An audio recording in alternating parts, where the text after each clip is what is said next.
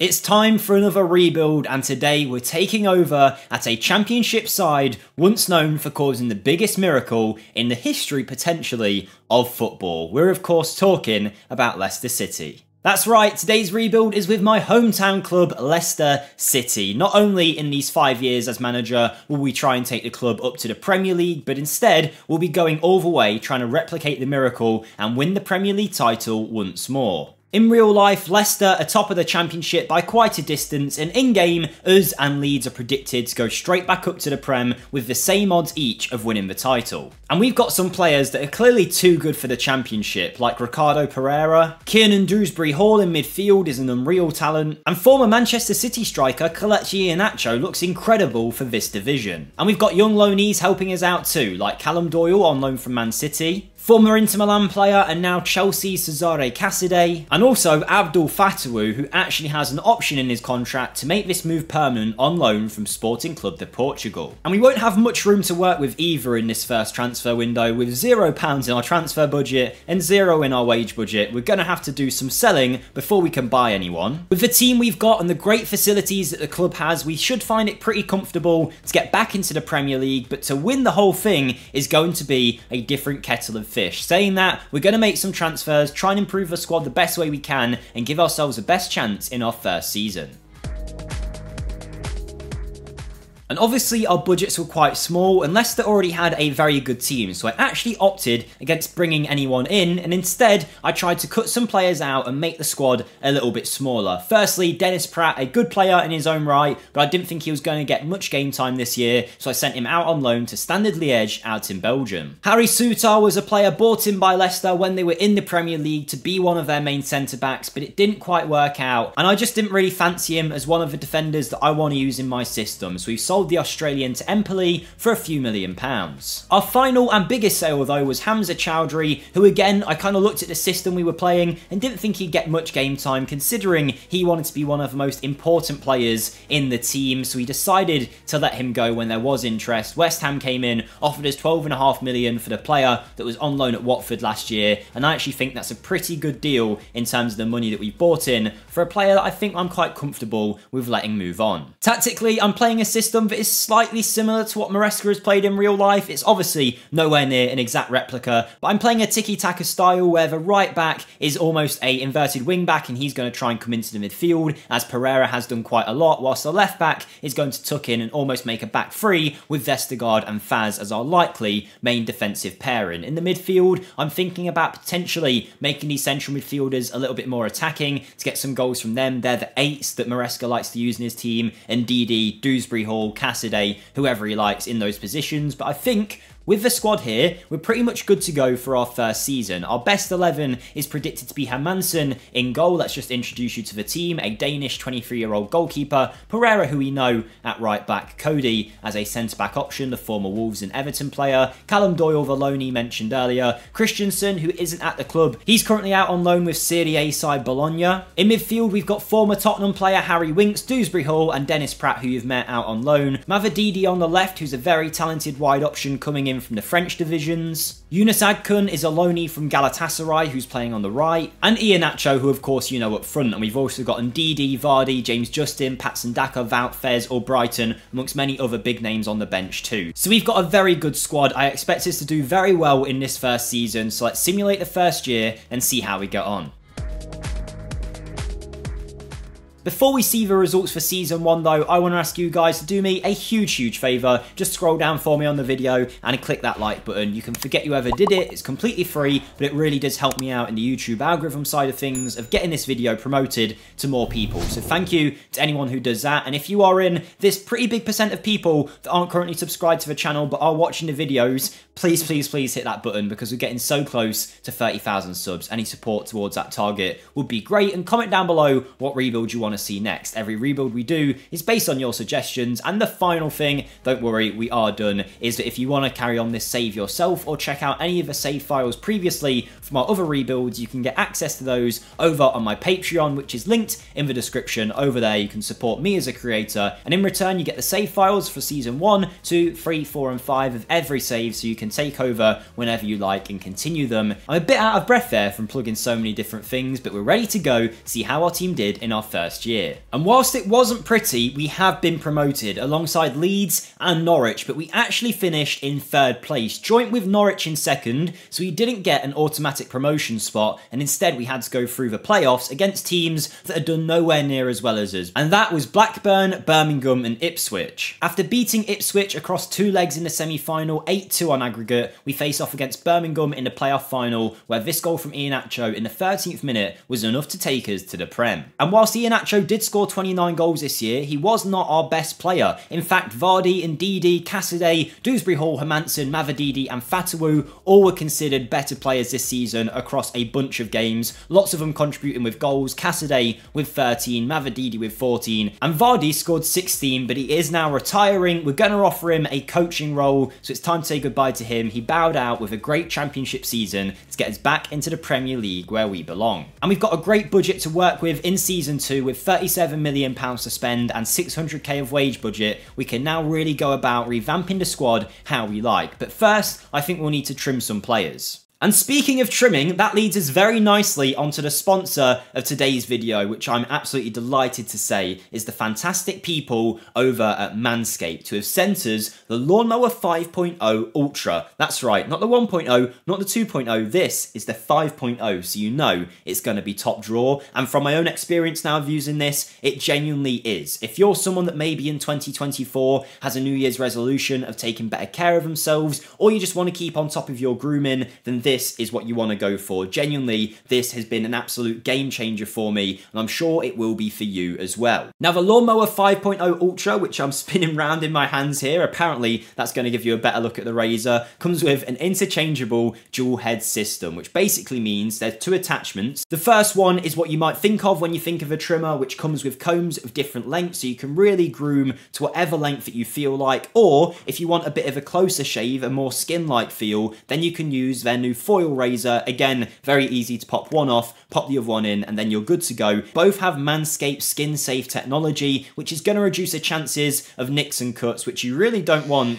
particularly when you're shaving down there. But my favourite thing about this trimmer is the fact that it's waterproof, which means you can use it in the shower, there's less mess, less cleanup, and it just makes it easier to maintain knowing you can just grab it quickly in the shower and give yourself a bit of a trim. If that wasn't enough, there's a travel lock, and also if I turn this on, you should hopefully see there's a light here, which means when you are grooming in places where it's a little bit dark in those cracks and crevices, this light is definitely going to help you out. So yes, the Lawnmower 5.0 Ultra, if you want want to get one for yourself, you can follow the links in the description. And if all of those features weren't enough for you, you can also get a 20% discount using my code JCFM at checkout. So thank you very much to Manscaped for sponsoring this video. It's very easy to do a brand deal when you genuinely believe in the product, and I definitely do with this. So give it a try. And with that being said, let's get back to the transfers. Vardy and Albrighton's contract expired last year, and we also sold one of the other older players in the team, Danny Ward. He's moved to Stuttgart for 1.2 million. We had a lot of goalkeeping options, and Ward wasn't one that I was going to use. Despite showing a lot of promise, I have decided to sell Kasey McAteer as well. As good as he's been doing in real life for Leicester this season, last year he didn't really do that well for us in the Championship, and I expect him to get less game time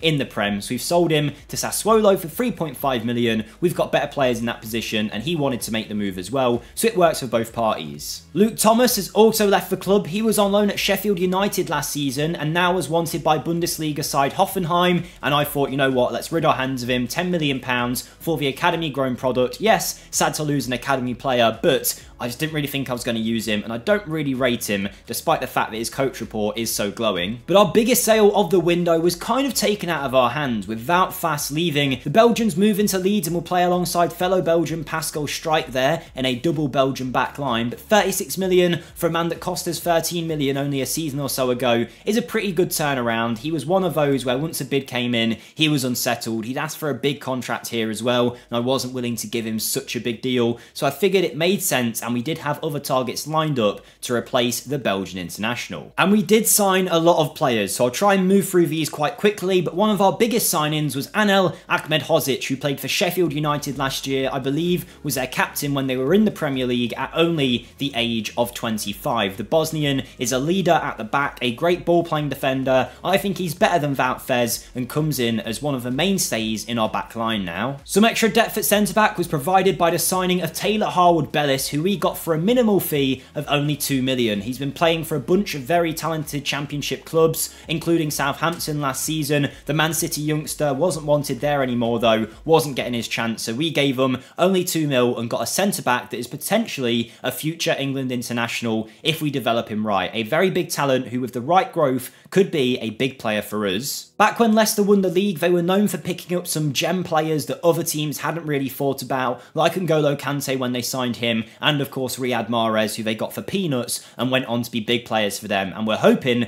we'll get a similar performance from Lucas Assadi, a 20 year old Chilean international with great attributes who we've picked up from Universidad de Chile out in, of course, the Chilean divisions. £3.2 million was the fee for a winger that I think is going to offer us a lot, and if he develops right, could become one of the world's best in his position. Chelsea weren't willing to reloan us Casadei for the season, even though we made the offer and he wanted to join. Chelsea wanted him to play his football somewhere else next year, so we needed a new midfielder, and in comes Albert Grønbæk, whose name I've definitely butchered a pronunciation of, but he is a Danish 23-year-old who I'm gonna call just Albert from now on. A 6 foot one creative midfielder who can score and can dribble well, a very good ball carrier, and someone that we're happy to add to our team, coming in from Bodo Glimt for only 5 million. Speaking of 5 million, that's what we paid for Francho, a Spanish 22-year-old midfielder who can operate in that number 6 position or as one of our midfielders. He comes in from 2nd Division Spanish side Real Zaragoza, where he was exceptional last year, a very good pivot player to have in our midfield, and fingers crossed this one will work out. Leicester fans will be happy to know we made the signing of Abdul Fatawu permanently. The Ghanaian has impressed in real life on loan, and he did as well in this FM world with 7 goals and 6 assists in his first season. He definitely is a good signing for the clause in his contract, which was 14.5 million to make the loan permanent. A free transfer, but a good one I think. Brandon Williams offers us some depth at both left back and right back for completely nothing, let go by Manchester United. He played for Ipswich Town on loan last season, has been to Norwich and played quite a few times for Manu as well. Whether he's going to be a star for us is another question, but for free, he definitely makes sense as cover in both areas. We're still not done though, another free transfers came in, one of which was Zeno Debast, one of the most promising young defenders in world football, a 20-year-old Belgian international who already has 9 caps coming in from Anderlecht for 24.5 million.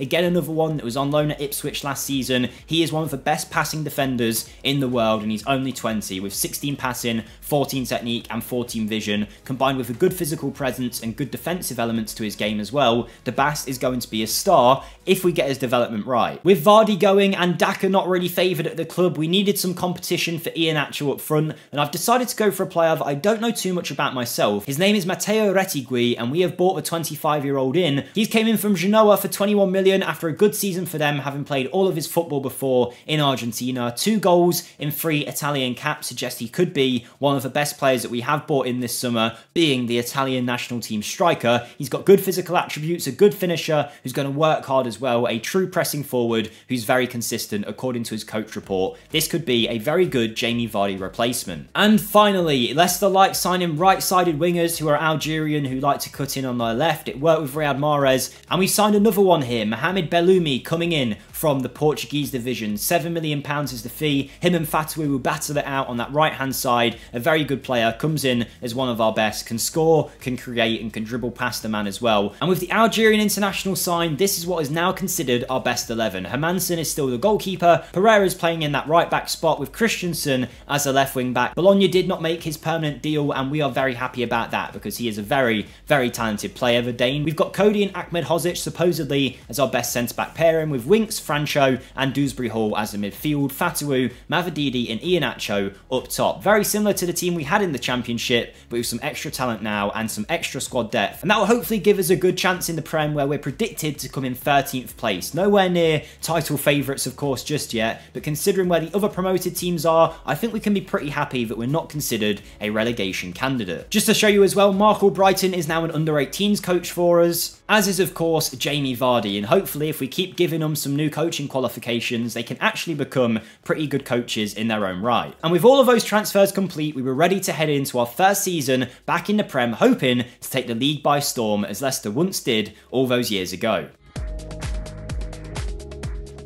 And it really wasn't the best season, but we can certainly take the fact that we stayed up as a positive. Us, Leeds and Norwich all got promoted and all of us survived, including Norwich predicted 20th, finishing in 10th place. We got 42 points and managed to beat out Leeds to that 16th place spot with Burnley, Brighton and Wolves getting relegated. Really, we were 9 points away from that relegation zone, but we wouldn't want to be anywhere close to it to be honest, so it is a shame that we are in that 16th place spot. That being said, we did win 12 games across the season, which is far more than any of the other relegation candidates, so I think we can be pretty happy with that in the fact that we've stayed up, but we want to definitely do better in season 3, 4 and 5. We don't want to sit around in these low positions for too long. The cups we weren't great in, fourth round exit of the Carabao to Burnley and the Emirates FA Cup knocked out in the third round. Our best performers this year to build around for the future are Dewsbury Hall who had a great season with 8 goals, Kristiansen was good at left back and outside of that there wasn't too many great performers. Debast did well when called upon but didn't play that much, only 6 starts and 8 substitute appearances, he's now unhappy. Iheanacho got 21 goals and Ahmedhodzic was pretty impressive at the back too, but we'll want more goals from across the team because really we didn't have too many good goal scorers here. The biggest surprise out of them all was Retegui who came in, only played 7 times, 3 starts and 4 bench appearances and suddenly he doesn't look like the best striker after all. When we signed him, I thought we had a real talent on our hands. But fear not, if our team isn't doing well, it's nothing some money can't fix and we've got 52 million pounds to spend in the next transfer window just to show you financially we do have 87 million pounds in the balance and in terms of the debts there isn't really too much there so we are doing okay financially which Leicester weren't for a little while. I believe they were struggling financially in that season when they got relegated which prevented them from buying many players to help them stay up in the Prem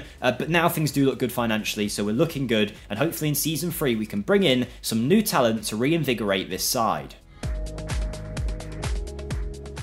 Firstly though, let's talk about the players that we sold, and Brandon Williams was one of those. We bought him in last season, he played a few times for us, but not enough for his liking, 14 appearances, only 2 starts wasn't enough, so he wanted to leave. Watford came in for 10 million, and even though we lose a player that we bought in last season, it's a quick turnaround, got him for free, sold him for 10 mil, easy profit. We also said goodbye to Boubakary Soumaré, who in the first year was on loan at Sevilla, came back and only played 4 times for us in the Prem, has 5 appearances over the last 2 years, so it was lucky that Middle Middlesbrough came in and offered us anything. 9.5 million isn't a bad fee for the Frenchman. Looked like he could have been good when Leicester first signed him. Never worked out, so we take the cash and we reinvest. Harry Winks has moved on as well, moving to Fulham in the Premier League for 5.5 million. Signed for 10 mil, gave us two good seasons, but we're ready for something different. And he did only start eight games last time out, so he did want to move on. And surprisingly, we had some interest from Conor Coady. Saudi Arabian sides came in, as well as Everton, and he decided he wanted to go to Everton, where he was loaned to a few seasons ago from Wolves. He's played for Leicester for a couple of years, played 36 times last season as a starter, and has now moved on for £12 million.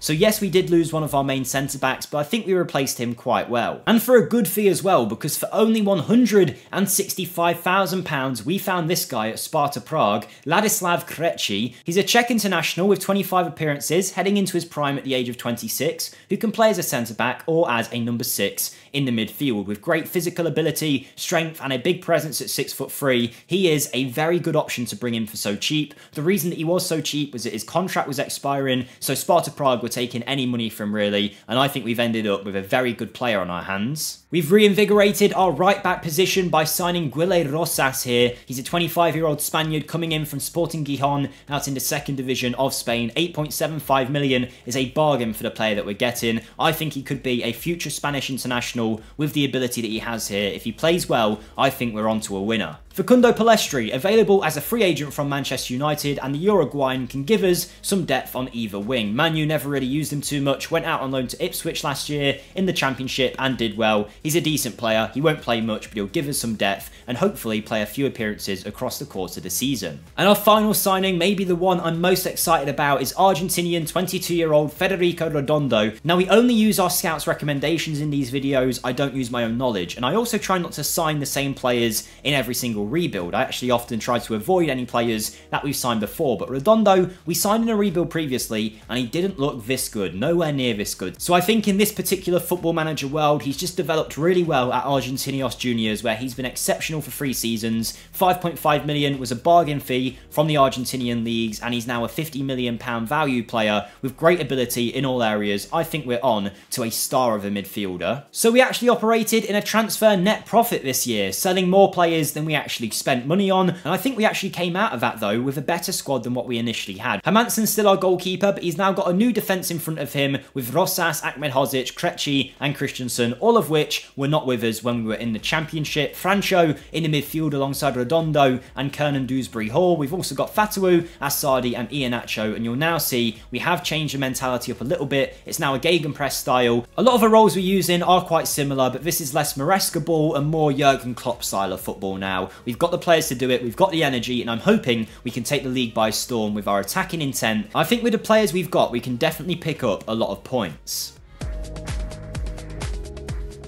And we did actually do very, very well this year. Quite like when Leicester won the league following up a disappointing season where they just escaped relegation, we nearly did the same. Last year we finished in 16th place, this year we jumped all the way to third, but not only third, we were only one point away from Man City, who eventually did win the title. They would have had the goal difference over us. We were joint second place with Chelsea, the same amount of wins, the same amount of draws, and the same amount of losses. To know that we're competing with the likes of Liverpool, Arsenal, Chelsea, and Man City at this stage shows we're definitely going in the right direction direction, and we also got to the Carabao Cup semi-final where we were knocked out by Crystal Palace. Our tactical change definitely helped, but actually a lot of our players performed above and beyond where they did last season. Dewsbury Hall finishes our best player again, but Redondo got 4 goals, and Retegui here did come in and finally showed why we initially signed him, scoring a few goals off the bench, 13 in fact, across the course of the season. Mavididi got 3 goals, Francho with 6, Iheanacho got 21, and it was a much better attacking performance across the board from our team, and we also also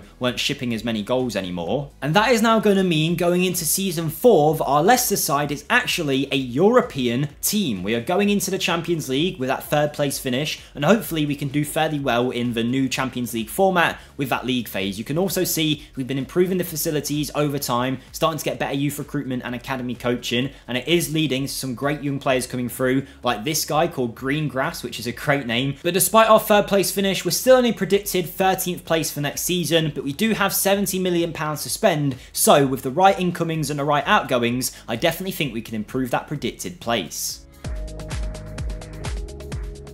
Just to let you guys know as well, we do have a Football Manager Discord linked in the description down below should you want to check that out. The Discord has over 700 members, a great community of people ran by some brilliant moderators over there. You can talk about real life, you can talk about real life football, or you can just talk about Football Manager. Lots of people share their saves, share their wonder kids, ask for help, ask for advice, whatever you want. That Discord is the place to be if you're an FM fan. But let's see who we signed in Season 4. And once again, we've made lots of profit from sales before we've reinvested it into our team. Firstly, the Algerian Mohamed Belloumi, who he signed a couple of seasons ago, hasn't been playing as much as he would have liked, playing a lot, but mainly as a substitute last season, so he wanted to leave. In came Norwich for 39 million, rising to 41. We paid 8 million pounds for the guy. That was a brilliant deal. We sent Mavididi out on loan as well. I didn't think he was going to get enough game time this year with the incomings that we did have. Already wasn't playing much last season with only three starts, so he is playing for Nantes in France for a 2 million pound loan fee. Wilfred Ndidi's time at the club was up. At the age of 29, he wasn't playing as much anymore, so he goes to Ukrainian side Shakhtar for 9 mil. Retegui ended up not being the worst transfer in the world because after a decent season last year, Al Ahli came in and offered us a little bit more money than what we initially paid for him, and considering he scored 7 goals in 27 appearances for 21 million, I was happy to take the money and get a new striker through the door. And also this happened as well. Atto Amper moved to Fulham. Now I don't know who this guy is. It looks like our director bought him in from Chelsea on a free transfer. He played 20 times for our under 23 side and Fulham have then offered 7 mil rising to 11. His only season so far being in the National League.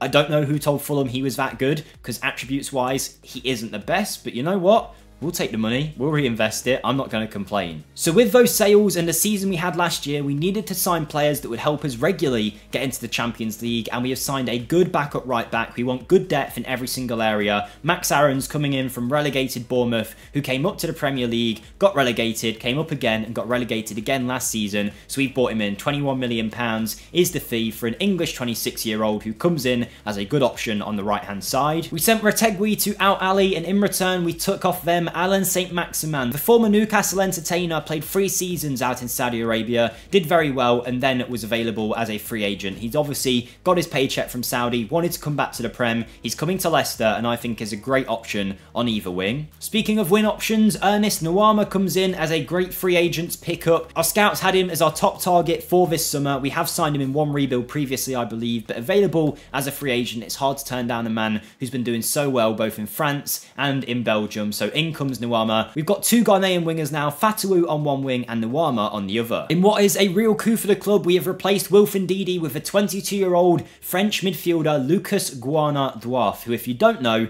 in real life is touted as the next big thing, currently playing for RB Salzburg in the midfield. A lot of people think he's going to go right to the very top. Here though, after three seasons, he was still at Salzburg. We paid 33 million, beat out Manchester United to his signature and get a very good defensive midfielder. But our main signing this summer is Victor Gyökeres, Sporting Lisbon striker who's been tearing it up after his move from Coventry, was available. Of course, we sold Retegui and also Iheanacho isn't getting any younger, so in he comes for 42.5 million. Yes, he's 28, but he's in the prime of his career, ready to score goals, and he looks like an unbelievable forward. And in the Portuguese divisions, he's made light work of it, so hopefully he can do the same for us. And our team is massively changed from the championship side we inherited, but there's still one player in every single area that is a current Leicester player. Hermansen, the goalie. In defence, we've got Kristiansen, who is still currently at Leicester. Dewsbury Hall as a midfield option, and then Fatawu, who's on loan in season one, is still our best right winger, supposedly. Gyökeres, St. Maximin, and Gourna-Douath all coming in to our best 11 here. We've got such a good squad. We're predicted 10th place now with 50 to 1 title odds, so things have definitely got better in that sense. But whether we're going to get third place again is another question. Competing in the Champions League is not going to be easy, but we'll do our best and hopefully get another top four finish. Talk about getting top four, we've actually gone and won the whole thing, winning the double this year actually, with a Carabao Cup win and a Premier League win with 81 points ahead of Man City and Chelsea. Only three points more than what we got last season, but it was enough to get us a title and the Carabao Cup, so let's take a look how this season went. It looks like we had a great run of form as the season went on. The season started quite well as well. This month in December looked to have been an amazing month as we won pretty much every game that we came across. The Champions League as well, we made it all the way to the quarter-final, losing out to Liverpool, but beating Leverkusen on the way. The Carabao Cup win was a penalty shootout win against Manchester City. But one of our best wins was this one late in the season against Chelsea, who are of course a title contender with us come the end of the year, where Dewsbury Hall equalised for us in the fourth minute after an early Nicolas Jackson goal. Then in the 27th minute, Fatawu found the ball in the box, took a shot and put it straight past Kepa, who is somehow still the Chelsea goalkeeper all the way four years on here. And then in the 96th minute, I believe it was Nuamah, who I imagine will be coming in somewhere near that back post right now. It's played across to him, he tucks it in, it takes a deflection, but we didn't care, and that was us on our way towards a title. Redondo, Dewsbury Hall, Gyökeres, Assadi doing well this year, as well as St. Maximin with 10 goals. Goals from all across the park, really helping us towards that title push. We can be very happy with that, winning the double, and now going into our final season, we've got 58 million pounds to spend and 300 grand in the wage budget to take this team one step further. We've won the Premier League, we've won the Carabao Cup. I wanted to do that in five seasons, win the Prem. We've done it in four, so now the aim has got to be to win the UCL. Again though, before we bought any players in to improve the squad, we let some go with James Justin moving on to Sheffield United for 18 million. Not a bad fee for a 29 year old, considered a last resort option at this point. Zeno Debast has gone to Club Bruges out in Belgium, his home nation of course, and I think it kind of worked out for the best for us. He never really hit the heights that I thought he could. We get a fair chunk of our money back that we initially invested on him, potentially rising to 20 mil. So we wash our hands of Debast, thank him for his service, and we'll get someone new in. And we will need to as well because Ladislav Krejci, who was a centre-back option for us, has now moved to Al Nassr on a 500 grand a week contract out in Saudi Arabia for 37 million. In two seasons, we turned a 165k player into a 37 million pound sale. Leicester have done something similar with Kante, similar with Mahrez, and we're continuing the tradition with Krejci. Max Aarons was a good signing for us, but then Chelsea came in and offered 40 million pounds for him, which we weren't going to reject, turning a 20 million pound profit in one season. He wanted to go to Chelsea. We were to let him go because he was only a backup right back after all, starting 17 games, appearing off the bench 21 times, made sense to move him on. And finally, Stephy Mavididi has moved on. He's gone to Al-Tai out in Saudi Arabia. The Congolese international was now valued at about 30 million and we got 15 mil for him on the last year of his contract, which wasn't too bad. We probably would have sold him for a lot less, but his season out at Nantes really raised his stock with a good year in the French division. So he moves on and we get some more cash to buy some new players. And we only bought in four players, but we went for quality over quantity. Firstly, we have a new striker option. Iheanacho has left the club at the end of his contract. So to go alongside Gyökeres up front, we have an 18-year-old. His name is Martin Papasiak, and I'm hoping the Czech international can compete with Gyökeres over time. And as Gyökeres gets older, he'll slot straight in, and we won't have this whole issue that Leicester have at the minute, where they're still really trying to find their Jamie Vardy replacement. Antonio Silva is a world-class signing for us. The 23-year-old Portuguese international is valued at 90 million. We've pulled him in for 55 million on a release clause from Benfica, where he's been exceptional. He is one of the world's best centre-backs. He's now playing for Leicester, and we have a great back line. And we're adding more young leaders to the team as well, with Fresneda joining us now. He's a Spanish right-back who's coming in from Sporting Club de Portugal, where he's been exceptional for a few years, having moved from Real Valladolid. £42 million is the fee for the right-back, coming in to replace Max Aarons for pretty much the same money we sold him for, and he has a lot more potential as well, because Fresneda in FM can definitely be the best right-back in world football. And finally, a bit of extra depth at both left-back and centre-back. Callum Doyle of Manchester City was with us on loan in Season 1. He hasn't played much since those days, but he was now available for £5 million. We've bought him in, and he's a decent squad option at the age of 23. With four international appearances for England, we're happy to have him here. Just to show you as well, Marc Albrighton has become a very good coach at the club and is still developing with his coaching qualifications. And I actually think he could go on to be a pretty good manager someday. And Jamie Vardy is now a first team coach at Leicester, started in the under 18s, but he keeps developing. And again, I think he could go on to be a manager of a club. He's got a good reputation, he's 40 years old now, and it's probably about right that he goes and takes a full time job. And we have created what I think is actually a mega team here. I think Fresneda, Antonio Silva, Diouf, Redondo, these are guys that in real life in five years' time, we might be talking about as some of the best in the world. Alongside that, we've got some great talents like Fatawu, Assadi, Gyökeres, who is already one of the most sought after strikers in world football. What a team we have put together. We've got great players on the bench as well. Pellistri, St. Maximin, Rosas, uh, Bellis is still doing well, Nuamah as well. This is a stacked 11 and we're going to see how we can do in our fifth and final season. And whilst we didn't win the Champions League, it was not a bad season at all. Winning the FA Cup and the Community Shield was a great result, runners up in the Carabao Cup and third in the league, so again, a Champions League space and only a few points off the title. Us, City and Chelsea seem to be the best teams at the minute, and then the Champions League, we got to the quarter-finals where we were knocked out by Bayern Munich, but only in penalties, so we really did ourselves proud. Along the way, we knocked out Barcelona 3-1 on aggregate, that would have been a great game, and we also knocked out Nice in the playoff rounds. In the FA Cup, we beat Manu in penalties. They scored early on through Joshua Kimmich in what is an absolutely stacked Manchester United first 11. But then in the 23rd minute, up stepped Callum Doyle. Didn't start many games this season, but it didn't matter. The former Man City player headed the ball past the Man United goalkeeper. And then Ivan Fresneda, the new signing, could step up to win as the FA Cup. And he did exactly that, planting it in the bottom right. The Community Shield was a 2-1 win against Everton, where in his first game for the club, Pat Prasiak came in and scored in the last minute, which is great to see, and he's developing nicely. Some great performances across the board from lots of different players. We have got a team that can contribute from every single position. We're no longer a one-man army, and if we have a look, we've got brilliant facilities, a four-star reputation, and financially, the club is swimming in the money with £128 million in the balance and no debts at all. We have smashed it in this rebuild. Don't forget to like the video if you enjoyed, and let me know what rebuild you want to see next. Thank you for watching, and I'll see you next time. Goodbye. Bye.